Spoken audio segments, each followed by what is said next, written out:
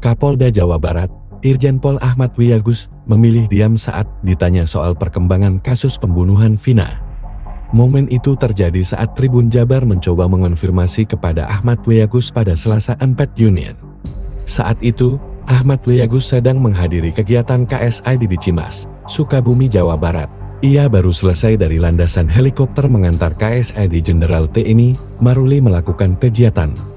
Lantas, para wartawan mencacar Ahmad Wiyagus soal penanganan kasus Vina. Namun awak media tak mendapat satu pernyataan pun soal kasus Vina dari Ahmad Wiyagus. Sebaliknya, seorang pria mencoba menghalangi wartawan dan meminta agar tidak melakukan wawancara. Pria tersebut melarang melakukan wawancara lantaran jalan menanjak hingga nafas terengah-engah. Wartawan pun diminta menjauh dari Kapolda Jabar.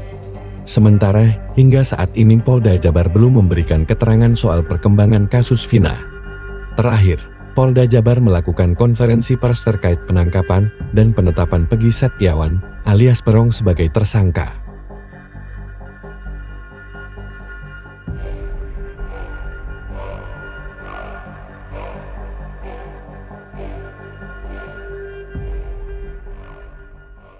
Download Tribun X sekarang. Menghadirkan lokal menjadi Indonesia.